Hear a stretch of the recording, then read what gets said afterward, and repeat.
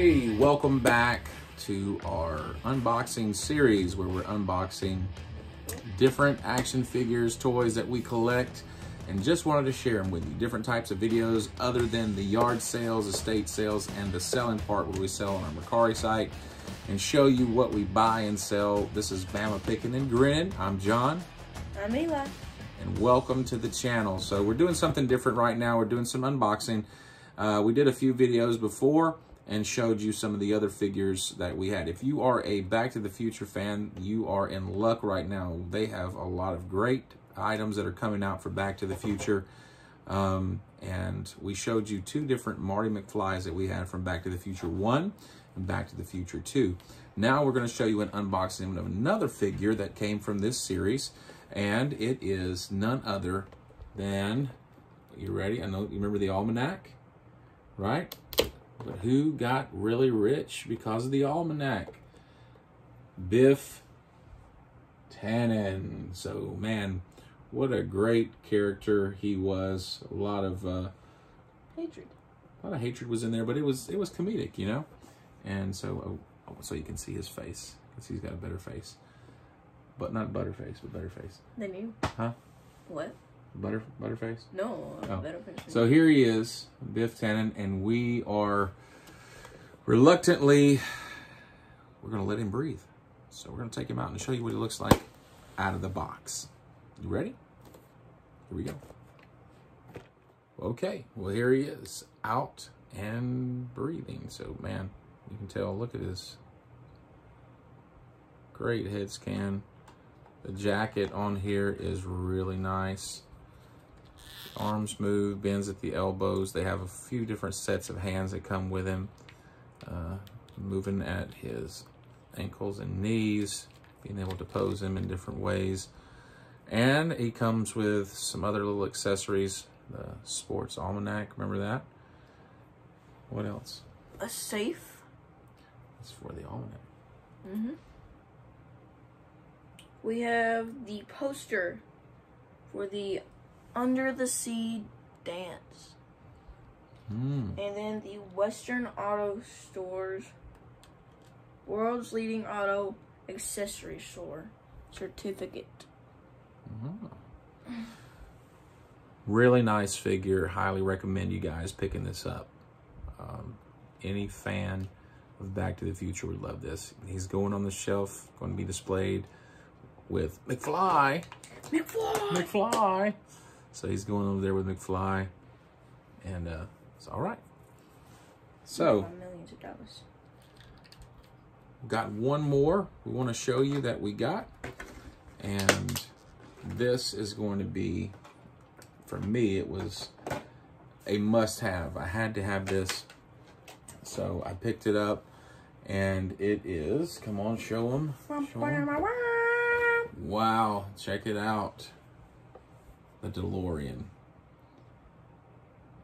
Outstanding. So we are going to get the DeLorean out of the box so we can show you a little bit of more detail. And it's going to go on the shelf. I can't wait. Look at the box though, man. I mean, really nice.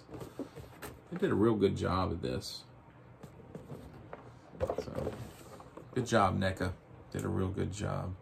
Yep. It's 1 16th scale, and it says the door's open, so let's check it out. Ready? Dun da da da. What noise did you make when you pulled it out of the box? I heard you. Go ahead. I didn't make it. You did. You said. You said. you made the car noise. No, I didn't. Uh, you remember making the car noises when you were a kid, having the little car. He did that when he pulled it out of the box. It's awesome, man. So Why you gotta do me like that? talk about it a little bit. You noticed some things about it. You noticed what movie it came from, right? Yeah, Back to the Future 1 because there isn't that little The food processor. food processor. And if it was the other one, the wheels would probably be up because you don't need roads. Remember? Mm-hmm. Roads. Where we're going, we don't need We don't need roads. So awesome, awesome, awesome. And then it says the doors.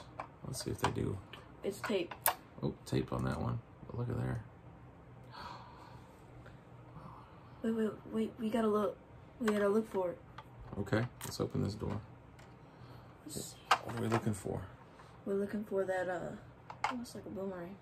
The energy. If that's in it. There it is. All the way in the back. Yeah. So there it is. Front. Let's see inside there.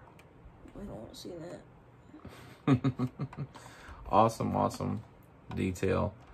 Oh, this is gonna look good on the shelf, huh? Out of time. Any real Back to the Future fan, this is a must have. I think you'll really like it. Great detail to it.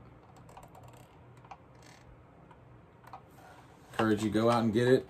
I think we got these, was it Walmart or Target?